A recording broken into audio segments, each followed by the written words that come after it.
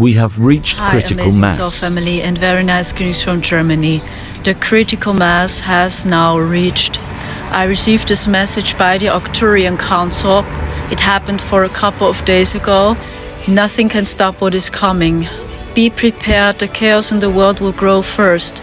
So don't be surprised because it must be seen for everyone in 3D. When you feel energies, you know it's already done. In higher dimensions, it's already done. But in 3D, mm-mm, not for real. People are seeing through it more and more and more. Don't be surprised, many shocking news are being revealed. We have a glitch in the 4D Earth matrix. That's why so much light from 5D is streaming down now, because there are many holes in the 4D Earth matrix.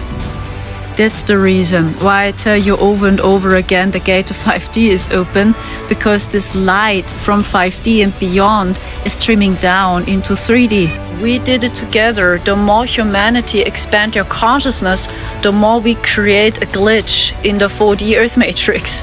The more you expand your consciousness, the more we create a other reality. But in 3D, you see the chaos.